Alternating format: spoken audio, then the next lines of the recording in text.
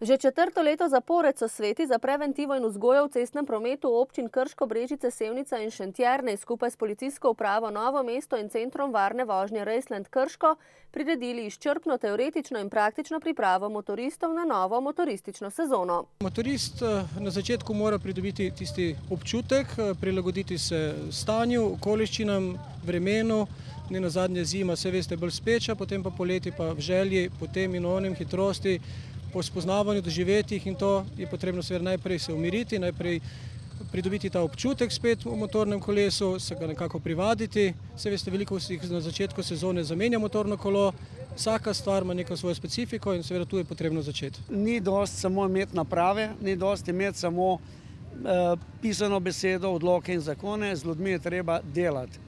Ljudi je treba znati prepričati, ljudem je treba dati samozavest, tako, ne predrzno, ampak tako, da agregate in to se pravi deležbo na cesti znajo upoštevati. Letošnje preventivne akcije se je po navedbah prirediteljev udeležilo nekaj več lastnikov jeklenih koničkov kot lansko leto. Zakaj ste se udeležili današnje akcije?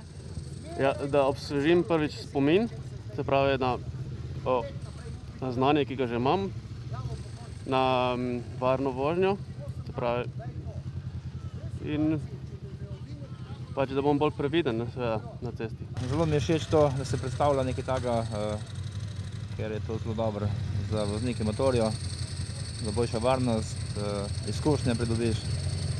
Sabo sem pripeljal ščerko, je za mano in tudi uh, izkušnje bo dobila. No? Po navedbah Agencije za varnost prometa je lani na slovenskih cestah umrlo 28 motoristov.